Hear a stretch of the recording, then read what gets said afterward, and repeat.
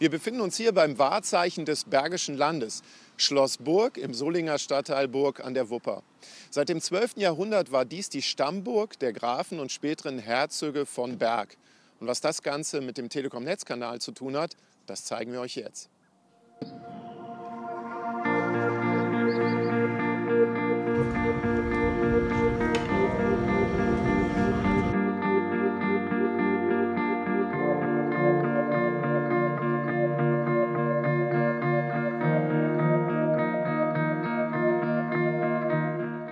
Schloss Burg ist die größte rekonstruierte Burganlage in ganz Nordrhein-Westfalen und damit natürlich ein absoluter Tourismusmagnet. Über 300.000 Besucher sehen sich jährlich diese Burganlage an. Und die wollen natürlich auch alle tolle Fotos verschicken. Und hier kommt die Telekom und der Mobilfunk ins Spiel. Denn bisher ist diese Burg nur mit 2G, also mit Edge, versorgt. Das reicht nicht für eine schnelle Datenübertragung. Der Bergfried ist der höchste Punkt der Burganlage und eignet sich dadurch natürlich auch am besten für den Mobilfunkstandort. Aktuell ist die Antenne dort in der Fahnenstange integriert. Jetzt möchte man aber hier auch einen LTE-Standort realisieren und dazu müssen sich alle Beteiligten zusammensetzen, um eine bestmögliche Lösung zu finden, die auch immer dem Denkmalschutz geschuldet ist. Also wir haben ja den Turm gerade frisch saniert, natürlich auch unter strenger Beobachtung äh, der Denkmalpflege. Und dementsprechend sind natürlich auch die Standards hoch, was den Einbau von technischer Infrastruktur angeht. Also sie sollte möglichst nicht sichtbar sein ähm, im Dachgeschoss. Ich denke, das wird auch äh, gelingen. Im Moment ist die Situation auch so, dass man noch Teile der Sendeanlage sieht. Das Ziel ist, dass wir in Zukunft davon nichts mehr sehen. Ähm, und wenn man sich vorstellt, dieser Turm hat keinen Aufzug, alle Bauteile müssen händisch die engen, schmalen Treppen hochgetragen werden. Ähm, das ist schon immer äh, spannend zuzusehen, wie das äh, so funktioniert. Und in der Tat sind die Wege nach oben schmal und sehr eng. Das wird eine große Herausforderung für unsere Kollegen, dort mit schwerem Gerät nach oben zu kommen. Jetzt sind wir in der obersten Etage des Bergfrieds, also dort, wo auch noch die ganzen Touristen hinkommen. Um jetzt zu schauen, wo die Mobilfunktechnik ist, müssen wir aber noch mal eine kleine Etage höher. Der Dachboden des Bergfrieds. Hier ist der Technikraum, aber es ist wirklich nur Platz für das Nötigste. Der Fahnenmast, in dem die Technik der Antennen versteckt ist. Hier wird sich in nächster Zeit noch so einiges verändern. Die alte Antennenanlage haben wir jetzt gesehen. Es soll demnächst eine neue kommen mit LTE und da fragen wir natürlich unseren Experten, wie die aussehen soll. Herr Weinbrenner, wie sieht denn die neue LTE-Antenne für die Deutsche Telekom hier aus?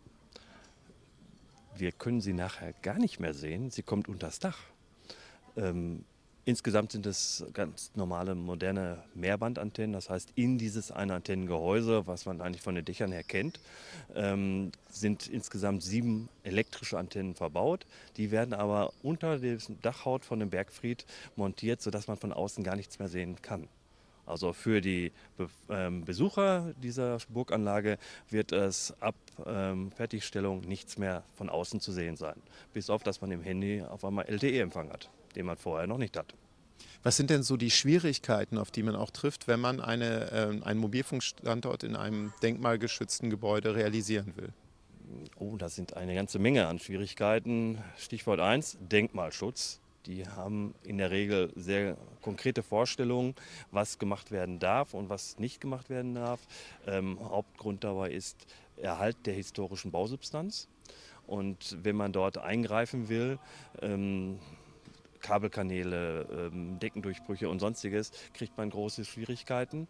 Ähm, und natürlich auch das äußere Erscheinungsbild. Deswegen ähm, wechseln wir jetzt hier von einer Antennenanlage, einer sehr kleinen, unauffälligen Antennenanlage, die oben am Fahnenmast montiert ist, unter das Dach, dass man es von außen nicht mehr sehen kann, weil die neuen Antennen die wir aufbauen, werden erheblich ähm, größer sein. Also sie würden erheblich mehr in Erscheinung treten und das war im ersten Planungsentwurf, den wir hatten, ähm, so nicht äh, ähm, akzeptiert worden von der Denkmalbehörde. Was, was für Benefits gibt es denn jetzt zusätzlich noch? Ich denke jetzt auch mal an die Umgebung, äh, die Stadtteile, die quasi auch über den Bergfried mit versorgt werden. Worauf können auch die sich freuen in Bezug auf Geschwindigkeit? Ja, es ist schon so richtig. Dieser Bergfried ist eine etwas exponierte ähm, Position hier in dem doch sehr zerklüfteten Bereich äh, von Solingen. Und wir sind hier der einzige Flächenversorger in dem Bereich. Also Unterburg und äh, Schloss Burg werden von diesem ähm, Funkstandort versorgt, sodass also auch wir für die äh, dort lebende Bevölkerung in Zukunft Breitband äh, über Mobilfunk zur Verfügung stellen werden. Ähm, nicht sogar nicht für die Telekom alleine, sondern für alle drei Netzbetreiber, denn dieser Umbau, den wir hier machen, ist eine äh, abgestimmte Arbeit für alle drei Netzbetreiber. Ja, die Frage, die natürlich auch alle interessiert, wann geht es denn dann letztendlich los? Ja, wir sind aktuell in der Planungsphase noch. Ähm, jetzt kommt als nächstes die Vertragsunterschrift und dann müssen wir schauen, ich habe so als groben Rahmen, dass wir im Winter diese Anlage montieren werden. Ähm, Sendebeginn wahrscheinlich im Frühjahr im nächsten Jahr, wenn dann hier wieder der große Betrieb stattfinden wird.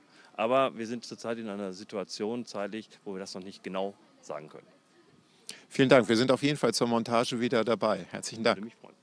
Wenn es hier mit dem Umbau richtig losgeht, sind wir mit dem Telekom-Netzkanal natürlich auch wieder vor Ort. Wenn euch das Video gefallen hat, gebt uns gerne einen Daumen hoch. Falls ihr Fragen habt, unten in die Kommentarleiste. Und wenn ihr nichts verpassen wollt, abonniert einfach den Kanal. Vielen Dank.